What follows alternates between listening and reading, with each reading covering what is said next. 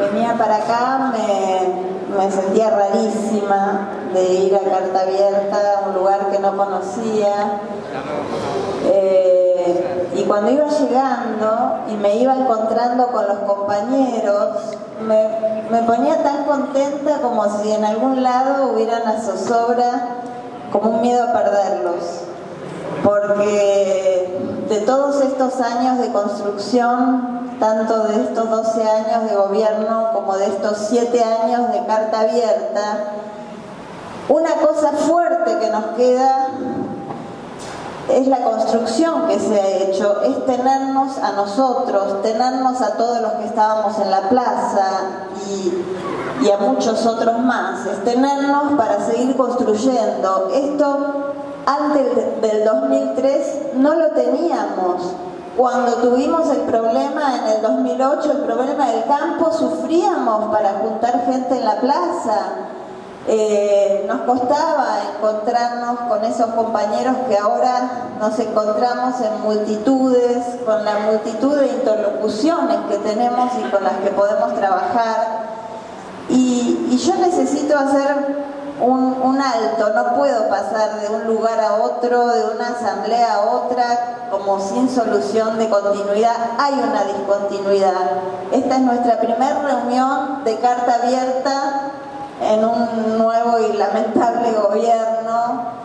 Y quería decir algo al respecto que se me escapó. Este, no, y entonces quiero, necesito hacer un agradecimiento hacia atrás. Quiero decir, necesito hacer un hito y decirle, compañeros de carta abierta, no saben lo que les agradezco haberlos conocido y haberlos tenido en todos estos años y todo lo que he aprendido con ustedes y también a la coordinación que con todas las críticas y todas las peleas que podemos tener, también han hecho y hacen un enorme esfuerzo que quiero reconocerles y nos tenemos para seguir hacia adelante.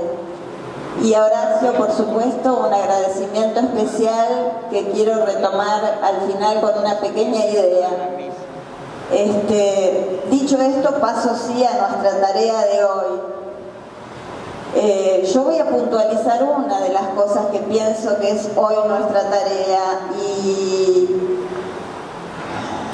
y no sé bien cómo pensarla, pero creo que hay ciertas cosas en las que no nos debemos dispersar y debemos encontrar una forma de comunicación muy contundente, de trazar ejes muy claros de cuáles son los riesgos a los que este gobierno y lo que ya va mostrando como perfil este gobierno, los riesgos en los que pone al país.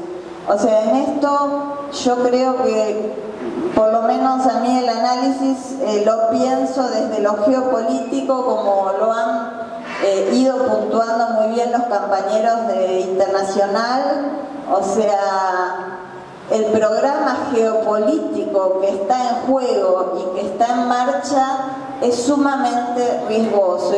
Y entonces nuestro desafío como carta abierta es cómo ir planteando estas cosas muy claramente y a la vez que no se conviertan en palabras gastadas. Cómo puede ser una palabra que llegue y que sea como un tábano persistente y perseverante y que no dejemos nunca de señalar esta línea de hacia dónde se quiere llevar al país. Cristina en su primer discurso, eh, cuando presentó el busto de Néstor, dijo una cosa muy clara que no la sé repetir ahora. Dijo, voy a decir tres cosas de lo que está escrito para Latinoamérica como programa para.